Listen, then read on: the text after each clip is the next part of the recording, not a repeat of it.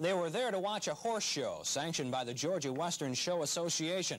There were riders from 8 to 50 years of age competing in 35 different classes. At stake was a little bit of prize money and a lot of pride in having your horse take home a ribbon, preferably a blue one.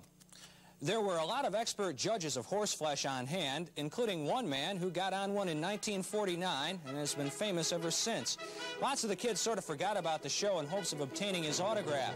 Legend has it that he was once a member of the Texas Rangers. Knowing a story when I see one, I wanted to find out what he thought of the Jeff Burroughs deal between the Rangers and the Braves.